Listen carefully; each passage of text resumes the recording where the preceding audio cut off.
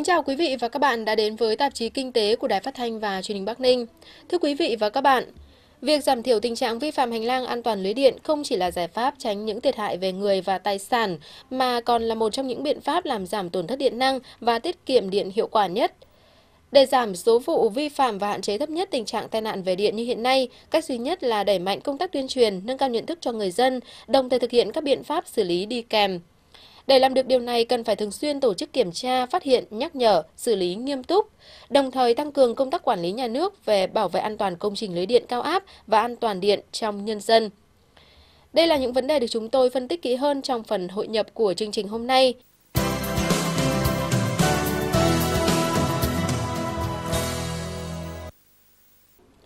Thưa quý vị và các bạn, Mặc dù chính phủ và các bộ ngành liên quan đã có nhiều văn bản quy phạm pháp luật về hành lang an toàn lưới điện, song những năm gần đây, tình trạng vi phạm các quy định này ngày một gia tăng.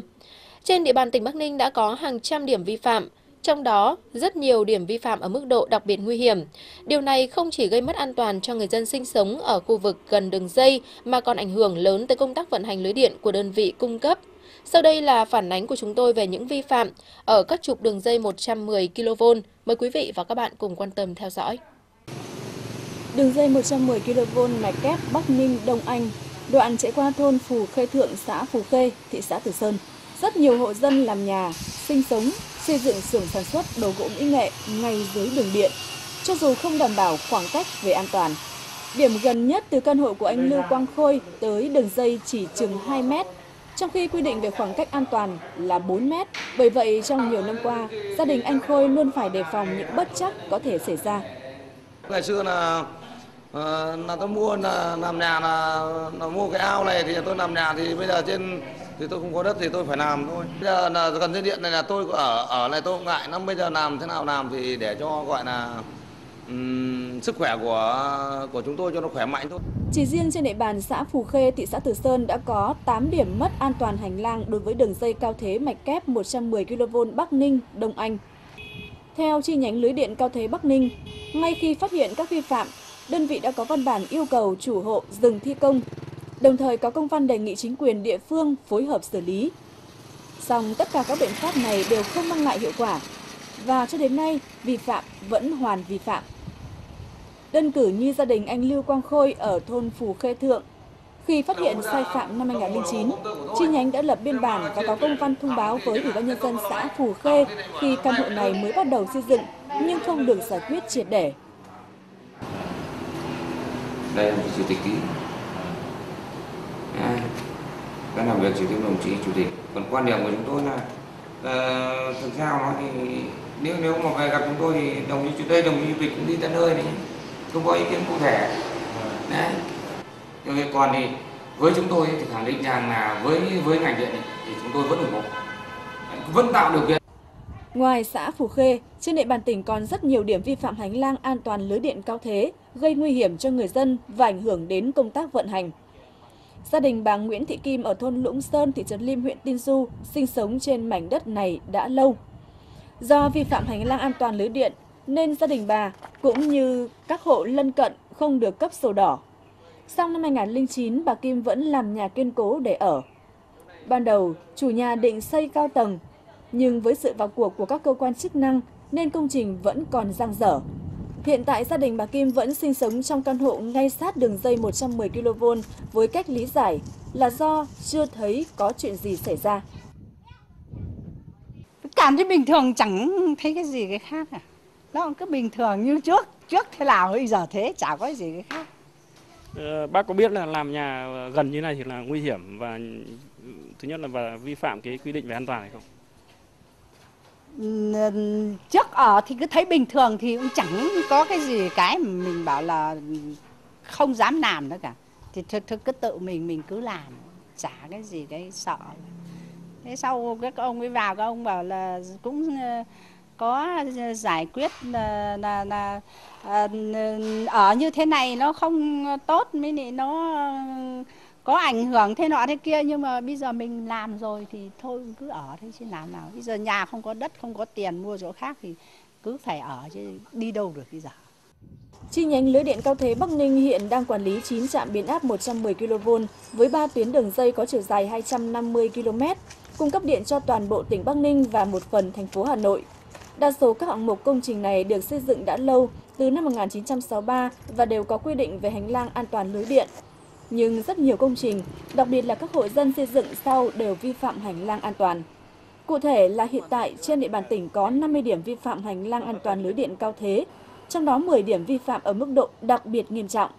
Và điều này đã ảnh hưởng rất lớn đến công tác vận hành lưới điện của chi nhánh lưới điện cao thế Bắc Ninh. Chúng tôi trong thời gian qua đã tăng cường Ờ, kiểm tra rồi tăng cường tuyên truyền đến ờ, từng người dân, đến từng các địa bàn các xã rồi thôn có cái đường dây đi qua nhưng mà cái cái việc vi phạm lấn chiếm hành lang ờ, lưới điện an toàn giao thông vẫn diễn ra nghiêm trọng. Trước thực trạng trên, đơn vị đã đề nghị chính quyền các địa phương có điểm vi phạm không cấp quyền sử dụng đất xây dựng công trình trong hành lang bảo vệ an toàn lưới điện cao áp. Đồng thời kiến nghị các cơ quan chức năng phối hợp xử lý các điểm vi phạm để đảm bảo an toàn cho người, tài sản của nhân dân và đảm bảo lưới điện được vận hành an toàn. Tuy nhiên, các điểm vi phạm không được khắc phục triệt để bởi công tác chỉ đạo, sự vào cuộc của các cấp chính quyền chưa quyết liệt. Nhiều nơi có đường dây 110 kV đi qua vẫn cấp phép xây dựng hoặc cấp sổ đỏ cho người dân mà không khảo sát kỹ vị trí của công trình cũng như thửa đất. Bởi vậy, để hành lang bảo vệ an toàn lưới điện cao áp được đảm bảo thì những tồn tại trên cần sớm được khắc phục. Thì để đảm bảo Ờ, an toàn cho lưới điện ờ, trong 10 kV ờ, cấp điện cho tỉnh Bắc Ninh, đặc biệt cho cái sự nghiệp phát triển kinh tế xã hội của tỉnh Bắc Ninh, cái việc gia tăng phụ tải như thế này thì cái việc đảm bảo cái hành lang an toàn lưới điện giao thông thì là một cái nhiệm vụ hết sức quan trọng. Thì trong trong thời gian tới chúng tôi sẽ một mặt chúng tôi là tăng cường kiểm tra, mặt khác chúng tôi đề nghị các cái cơ quan chức năng đặc biệt là Sở Công Thương, Ủy ban nhân dân tỉnh Bắc Ninh sẽ quan tâm phối hợp chặt chẽ hơn nữa để cho chúng tôi hoàn thành cái nhiệm vụ mà giảm thiểu cái các cái điểm vi phạm an toàn hành lang lưới điện cao áp. Cho đến thời điểm này, những thiệt hại về người do tai nạn ở khu vực vi phạm hành lang an toàn đường dây 110 kV vẫn chưa xảy ra. Song sự ảnh hưởng về công tác vận hành lưới điện cũng như các sự cố kỹ thuật là không hề nhỏ. Đặc biệt khi mà nhu cầu về điện ngày một tăng cao, trong khi hệ thống hạ tầng đường dây dần xuống cấp thì nguy cơ tai nạn về hành lang lưới điện có thể xảy ra bất cứ lúc nào. Do vậy, để ngăn chặn và chấm dứt các vi phạm như đã đề cập ở trên đây, cần có sự vào cuộc tích cực, quyết liệt và khẩn trương hơn nữa của các đơn vị chức năng từ tỉnh đến cơ sở.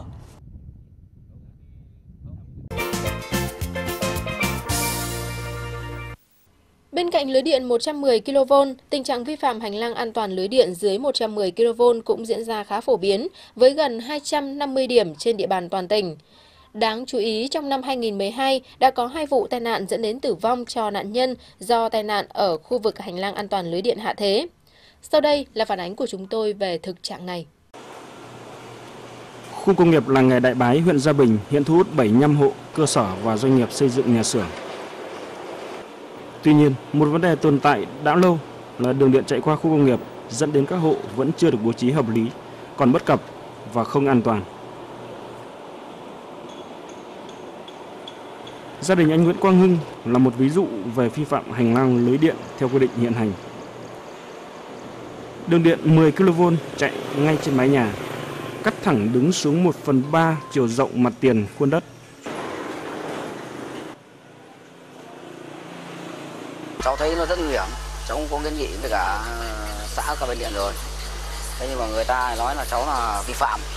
Đấy thì thực sự là cả chú là cháu ơi uh, mua đất cháu chỉ biết làm nhà thôi cháu là dân cháu biết nói gì đây nếu gì bây giờ thực sự bây giờ người ta người ta bảo cháu vi phạm thì cháu bắt là thực sự là là, là người ta cũng muốn là uh, ở bên điện đấy là cũng xuống kiến nghị với cháu bây giờ là người ta sẽ thay cho cháu một cái đường điện ở bên kia đây. Cột cao 18 mét rồi uh, dây bọc viết các thứ vào nó an toàn thì thực sự là người ta cũng bảo là cháu mất thêm độ khoảng bốn năm triệu thế thì à, cháu cũng cố có ý định là sẽ làm với mức tiền vài chục triệu thì cháu sẵn sàng cháu làm trên địa bàn xã Đại Bái cũng như huyện Gia Bình còn nhiều điểm vi phạm hành lang an toàn lưới điện.